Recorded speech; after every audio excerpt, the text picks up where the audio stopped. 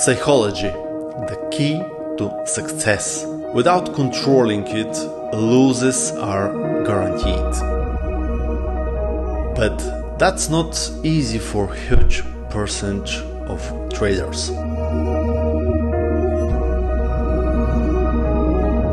Hello traders, for those of you who don't know me, my name is Vasil Petrov and today I will talk about psychology in trading.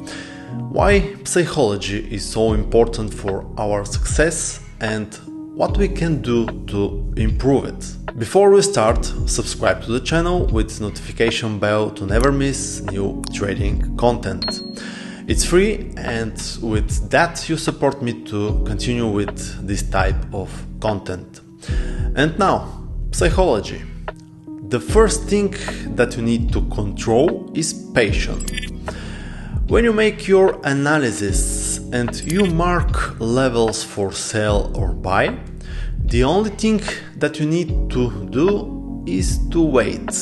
To wait for the price to reach these zones and to add order only if you have all necessary conditions based on your strategy. Every trader wake up with desire to enter a trade. This is a major problem with large percentage of traders. If you don't have patience, you must work on it to achieve success. Otherwise, you will start placing trades without any vision or strategy, and your trading will turn in gamble. Not every day there are conditions for trades. Some days you will only monitoring the market. Less time on the chart. This is the next advice from me. Don't watch the chart 24/7. This will affect your emotions and make you change your actions constantly. If you are too focused on the chart, this will affect your emotions and push you to change your decisions constantly. The price will go up or down with or without your 24 7 eyes on the chart. For example, if you trade on 4 hour time frame, just check the chart 10 minutes before every 4 hour to can see and catch the right moment for trade. Don't think about the money, the next thing in psychology. Most traders start to trade thinking immediately about money. You should treat trading as normal job, as normal business. Get up early in the morning, do the best analysis, follow your trading rules and enjoy the process. Think about the pips, not for the money. Try to find your mistakes when you have stop loss and the money will come at some point. Great, this is the next thing in psychology. Some people say to yourself, I will place this trade and close it after 200 pips because with 200 pips I will win, for example, $1000. Extremely big mistake. The market doesn't care about your desire to catch 200 pips and $1000.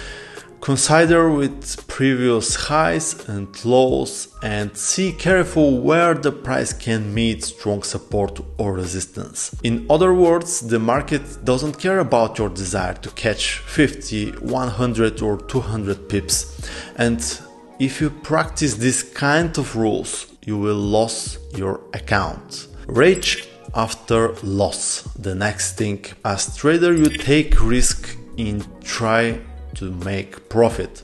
And when you take risk, you need to know that this risk can sometimes be against you. There are traders who, after three, four losing trades in a row, feel rage and desire for revenge on the market and double or even triple their positions to cut the loss. Of course, everyone has losses and always will you should have a certain number of losses and percent of the account that you can lose and the number depends on your trading style and your strategies you use. For example, if your trades are with small stop loss, then you should accept that you will have more hit stops due to the fact that you're not giving enough space for the price to develop in your direction. If you have trades with larger stops, the chance of loss drops and you should expect less hit stops. Don't take losses personally and never tell to yourself, oh, I need to recover my loss right now. Believe me, this will bring you more losses. Always is better to analyze what you did and why you go wrong while wait for the next good potential trade. Pride. It's very easy to feel confident and invisible when you have a couple of winning trades in a row and get good profit. A lot of traders start feeling invisible and increase volume in new trades. Unfortunately, this is the moment when things go wrong and you lose all your profit. My advice is when this happens and you start to feel that confidence in the market, immediately stop or reduce the volume in next uh, trades you should have a goal that when you reach it, you can give yourself a break. Rest, the next thing in psychology. When you feel tired, just take a break, go exercise, read a book, go for a walk with friends, or take a trip Everyone needs a break. My advice is to get one. Otherwise, you will start over trading and making more trading mistakes. If you have a series of losing trades, stop and give yourself a break. A few days to clear your head to clear your negative emotions. After that, start with analysis again. I hope after this video you learn how important emotions and discipline are in trading and how they affect on our results. Don't forget to subscribe to the channel and like the video. From me, Vasil Petrov, goodbye and see you next time. And don't forget to share this video with friends.